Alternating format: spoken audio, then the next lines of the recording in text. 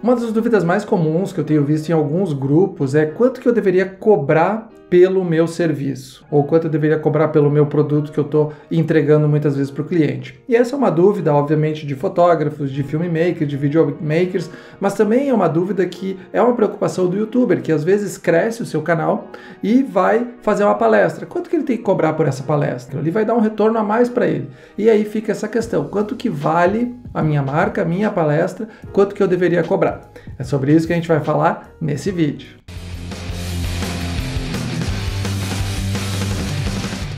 Olá pessoal, aqui é o professor Rovian. Se é a sua primeira vez no canal, considere se inscrever e habilitar as notificações para não perder os próximos vídeos que vão ajudar você a melhorar o seu conteúdo. Como eu comentei, hoje a gente vai falar de preço, quanto que a gente pode cobrar pelo nosso serviço, né? seja em valor de marca ou porque a gente está entregando as fotografias para o cliente ou um, um filme para o cliente, um vídeo do casamento ou de qualquer outro evento que a gente esteja uh, trabalhando e fazendo. Não é meu trabalho, né? eu trabalho com consultoria, mas assim como vocês, eu tenho também que botar muitas vezes um preço no serviço que eu vou cobrar.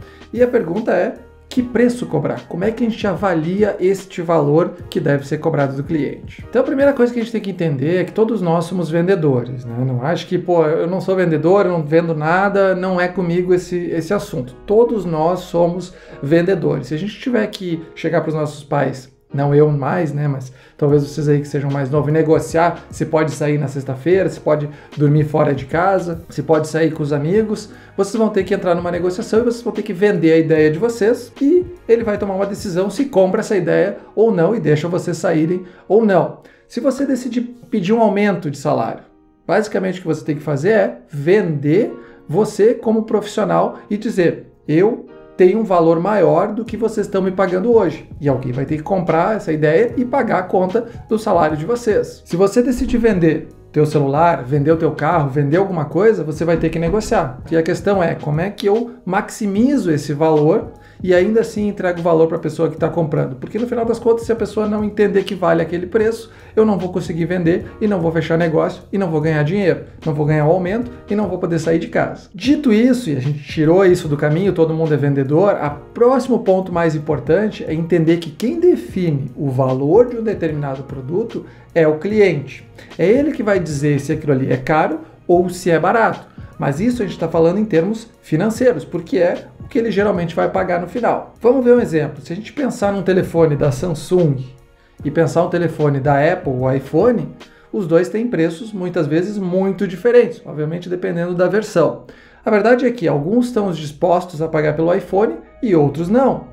Não é muitas vezes só uma questão de ter ou não ter dinheiro, porque a mesma pessoa que não compra o iPhone pode ir lá e comprar todo ano um carro zero, porque ela vê valor no carro zero, mas não vê valor no iPhone. Então vejam que a decisão é do cliente, é uma decisão pessoal individual de cada um. E quando você faz as compras, é a mesma forma. Você toma uma decisão com base no que você acha que é um preço justo de pagar pelos benefícios que você vai estar recebendo. E o cliente de vocês é a mesma coisa. E aí, se você pensar assim, puxa, eu queria ganhar mais, eu queria cobrar mais, mas eu não consigo cobrar mais porque o meu concorrente cobra bem menos.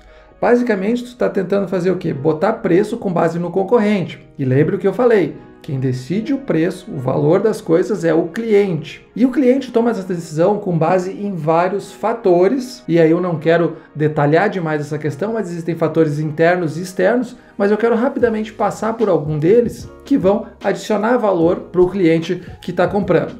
Vamos supor que você realmente está tentando vender as fotos do casamento, o vídeo de casamento ou de qualquer outra coisa. Quer vender a sua ideia, quer vender a sua empresa, quer vender o seu carro, quer vender o seu celular. E aí você tem que convencer a outra pessoa que aquele valor que você está cobrando vale aquele preço. E aí você começa a colocar por que, que ele vale.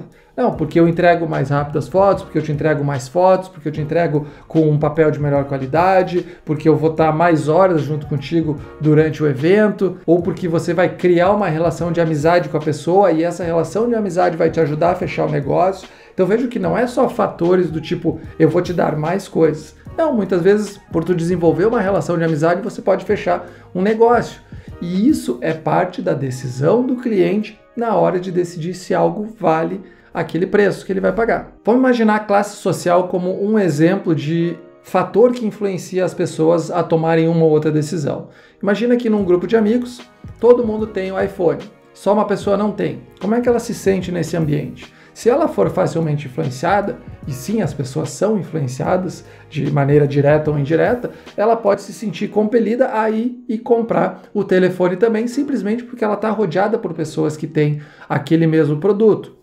Então, o ambiente que você convive, a classe social onde você está inserida, pode influenciar você a ter certos comportamentos de consumo. Outro fator que é muito forte são os fatores que a gente chama de psicológicos, ou seja, a minha motivação para adquirir algo, a minha, o meu envolvimento muitas vezes com aquilo que está sendo comprado. Vamos supor que uma pessoa sempre sonhou em ter o casamento dos sonhos.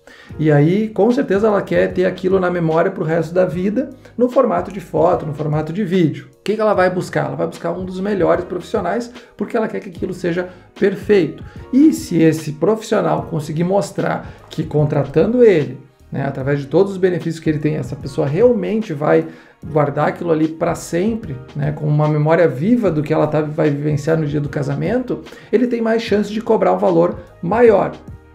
E isso é um fator que influencia. E veja que ele é pessoal, é da pessoa, é do cliente que vai tomar essa decisão, mas ele pode ser influenciado. Então aí que vem o seu papel como vendedor e quando você questiona que preço eu devo comprar, depende qual o seu poder de influência sobre o cliente que tu negocia. E aí tu me diz, não, mas eu não posso cobrar mais que o, que o concorrente. Não necessariamente. Se você conseguir mostrar para o cliente que o teu serviço vale mais, influenciando ele né, de alguma forma e mostrando que aquilo ali tem mais valor, você pode cobrar um valor muito superior. E uh, digo mais, veja um exemplo: se você for procurar hoje vários, sei lá, fotógrafos de casamento, você vai ver que tem um que cobra 500 reais, e eu fiz essa pesquisa quando eu casei, um que cobra mil reais, o que cobra dois mil, cinco mil e o que cobra 10 mil. Nem todo mundo vai estar disposto a pagar esses 10 mil reais, porque obviamente nem todo mundo tem os 10 mil reais, mas alguém vai ver valor neste preço de 10 mil reais.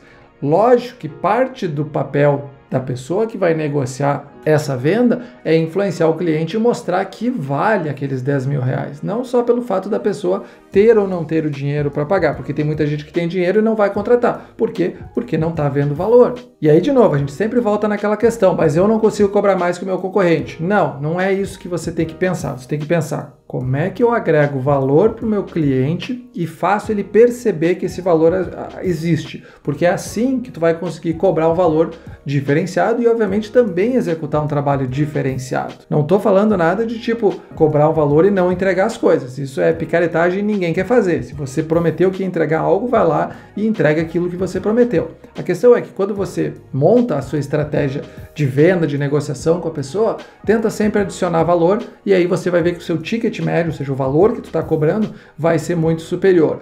Não é uma tarefa simples, é, uma, é, é, algo que leva um tempo de aprendizagem. Com certeza vocês devem estar nesse caminho, talvez tentando vender os produtos e os serviços de vocês. Isso é algo constante, mas tenta perder essa mentalidade tipo o mercado dá o preço, o concorrente dá o preço, porque aí tu está te limitando a isso. Está dizendo eu só chego até aqui e é isso que eu faço. E não é o equipamento que vocês têm, não é a quantidade de horas que vocês perdem fazendo tratamento de imagem, não é a qualidade do, do vídeo de vocês que porque é em 4K. Isso aí é irrelevante muitas vezes para o cliente, porque todo mundo consegue comprar a mesma máquina que tu tem e fazer o mesmo serviço. Tu tem que adicionar coisas que ninguém mais consegue ao teu serviço e agregar valor de alguma forma.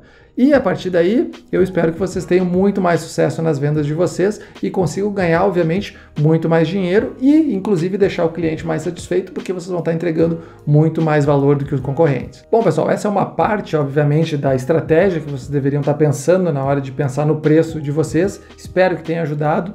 Desçam nos comentários, façam perguntas, respondam a pergunta que está ali no primeiro comentário. Vamos discutir esse assunto e ver como é que a gente pode crescer e melhorar cada vez mais os nossos negócios. Então, se gostou do vídeo, deixa o like, se inscreve no canal, habilita as notificações para não perder os próximos vídeos que vão ajudar vocês a melhorar o conteúdo de vocês. Um grande abraço e até mais.